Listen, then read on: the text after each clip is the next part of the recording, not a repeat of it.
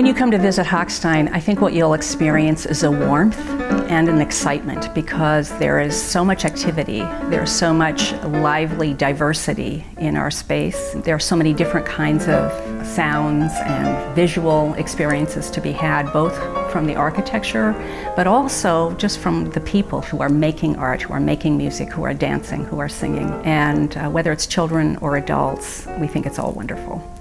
I've had people walk into the performance hall and literally gasp because they're, they're stunned. They don't know from the outside of the building what it's going to look like inside, and they're stunned and astonished and delighted.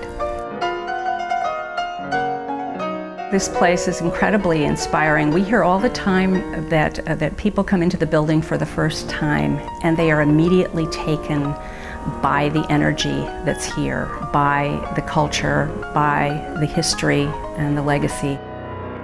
We're a community arts school and we're open to anyone. From, we have students from the age of six months to about 90 years old.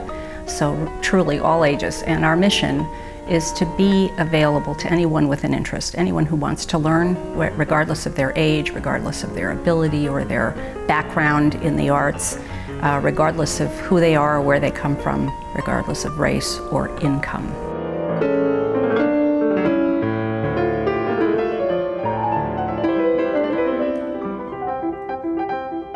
When people leave here after a performance, I hope that they're taking with them the spirit and the energy of the performers that have given their talent to the audience and that they are reminded of how important it is to have beauty in our lives.